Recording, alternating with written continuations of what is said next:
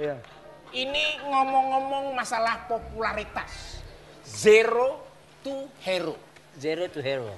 Dari nol menuju menjadi Raja. atau dari nothing menjadi something. Nah. Nah sekarang kan Mas Cesar itu sudah terkenal. Apa sih yang diimpikan sama Cesar sekarang ini Itu- untuk memenuhi perjalanan ke jenjang Iya. berikutnya sebagai seorang superstar? Kembali lagi doa seorang Jangan ke mana-mana, tetap di putih abu. Abu. belum belum belum ya belum belum belum Silakan, Cesar. Silakan. Silakan jawab, Cesar. Oke, saya serius hari ini. Serius. Saya pertama ya kembali dari dua orang tua yang bikin saya jadi penyemangat dalam hidup. Perjalananku benar-benar menyedihkan. Orang tidak tahu perasaanku seperti apa. Yang pastinya aku tahu perasaanmu seperti apa. Maksudnya? Aku nggak tahu. Aku nggak tahu perasaanku seperti apa. Yang pasti aku tahu perasaanmu seperti apa. maksudnya, maksudnya apa Cesar? Iya, maksudnya apa, Cesar? Maksudnya apa?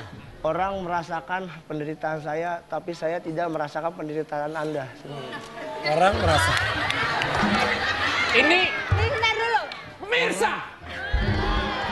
Bukan Anda saja yang bingung. Laptop saya juga rusak nih kayaknya.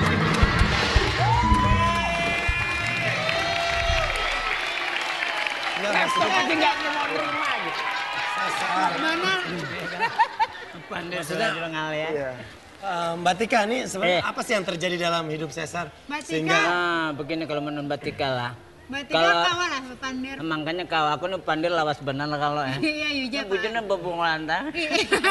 Jangan menyambat kayak gitu. Kadang menyambat gitu ini ngalewanan. Oh iya, iya. Nah jam itu udah berapa jam lah? Ini dasar bujuran kan? Nih, kada bujur, nyale ya. Oh, ya. Nah, ini pepandir nah. Lawas sudah. Hah? Kada Eh, eh, giring. ini TV nasional. Oh, Oh, iya, iya, iya, iya, Jalan kampung sorang. Kembali ke lab. Mas Cesar. Biasa. Eh, Mas Cesar. oh ya. Dari pandangan Oh, pandangan dulu, silakan. Kalau dari pandangan saya secara pribadi, memang ini Cesar ini terlalu apa sih dalam menjadi seorang bintang ini terlalu prematur ya. Karena terlalu prematur. Prematur? Iya, nggak apa-apa itu kan bisa untuk istilah apa aja. Bisa. Prematur tuh bayi. Ya Allah. Maksudnya terlalu Makanya cepat. Ini, dia seperti bayi, jadi reformisnya agak kurang lah ya. Jadi saya menyikapinya begini. Kembali ke diri kita sendiri, siapa diri kita dan kita siap menjadi diri kita, baru kita memberikan diri kita kepada orang lain. Bagaimana menurut An- menurut eh, Mbak Tika tadi Anda terlalu prematur. Bagi dia sangat sangat lelucon sekali bagi saya ya. Bagi dia sangat lelucon sekali bagi saya. Maksudnya apa? Saya, ya bagi saya menghadapi dia lelucon gitu. Oh. Jadi lucu gitu ya? Ya enggak juga. Jadi begini. Begini. Alir kehidupan itu adalah suatu makna yang sangat Tambuk. Benar. Boleh saya mengobrol? Oh, iya, silakan. Eh, Iya. koler. Iya, boleh saya ngomong. Ya, Oke, aja. itu tadi kembali ke kehidupan. Benar-benar diwak iwak wadi ikam nih. Maksudnya apa? Maksudnya apa? iya. iya benar, kehidupan itu banyak ada duka dan senang. Iya, kita tahu. Iya. Maksudnya dalam dan juga dan juga ada hitam dan putih. Iya, kita tahu. Ya bagaimana untuk kita menyikapinya? Enggak, ini kita bicara tentang hidup Anda. Iya.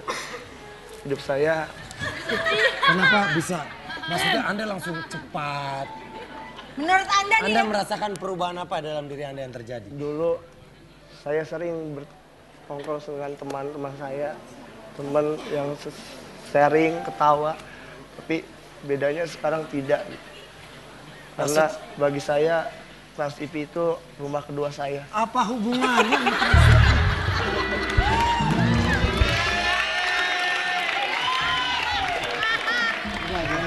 Jadi Kembali ke Kembali ke jadi kalau Cesar.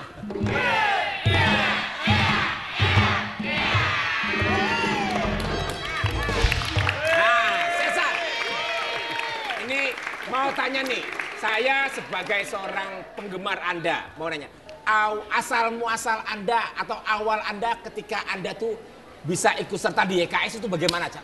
Ceritakan. Pertama-tama saya ditemukan oleh sosok manusia yang ber- bernama Yanto.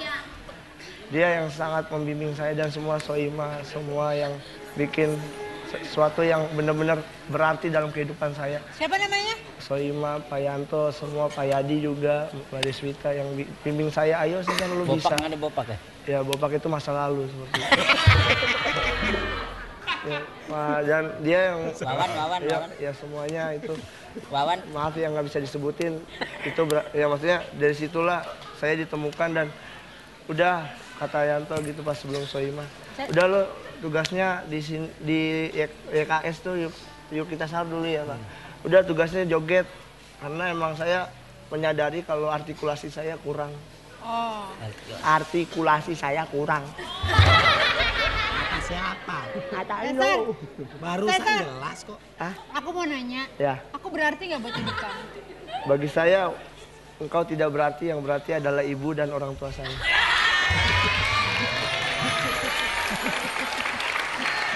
Anyep banget gua. Oke, Cesar bener ya. sekarang kita undang aja tamu berikutnya. Karena semakin lama kita ngobrol, akan menurunkan kadar kecerdasan kita. Takutnya kita semua malah jadi nggak nyambung kalau ngobrol ya. Oke, kita undang. Dia adalah tamu saya berikutnya ini fans dari Cesar. Dia tahu banyak tentang Cesar. Dia mengidolakan sampai dia punya poster Cesar di rumahnya itu